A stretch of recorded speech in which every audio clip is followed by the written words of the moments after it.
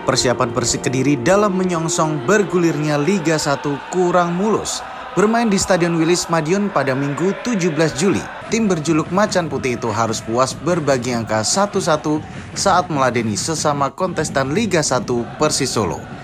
Dalam laga tersebut, Persik sempat membuka keunggulan terlebih dahulu di menit ke-6 melalui gol yang diciptakan oleh Renan Silva lewat titik putih. Unggul satu gol, tim besutan Javier Roca itu tak membuat mengendurkan tempo permainan. Namun permainan agresif Arthur Irawan dan kawan-kawan tersebut masih bisa diredam oleh skuad Laskar Samber Nyowo. Sejumlah peluang yang didapat Persik gagal berbuah gol.